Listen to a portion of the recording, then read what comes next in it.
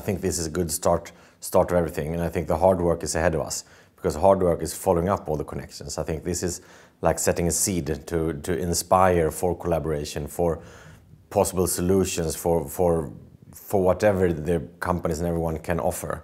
And I think taking the dialogue from here and trying to tailor make everything for the needs the current moment in India and in other places in the world and, and how the collaboration can trigger further development of, of technology and solutions. It's gathered a lot of stakeholders, both the ones that are interested in, in getting services and products and service and product providers.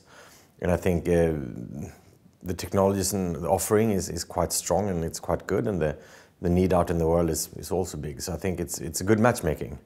I think time and patience is the most important in all collaborations. If you just if you have an interesting meeting, you have to take care of it, you have to maintain it, you have to look after it, and you need to spend time and effort on making it become reality as well and getting something from it.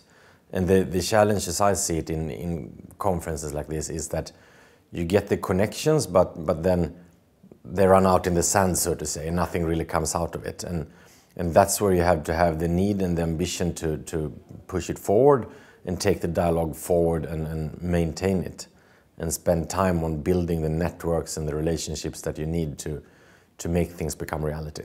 I think the key takeaway is that technology drives most things. I think it's hard to, to, to set the future by, by making laws and regulations. I think the technologies available will open up for possibilities and then the possibilities will be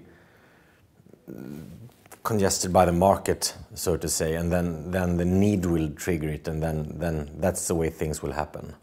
And then I think everything around it, you just try to facilitate for that to happen.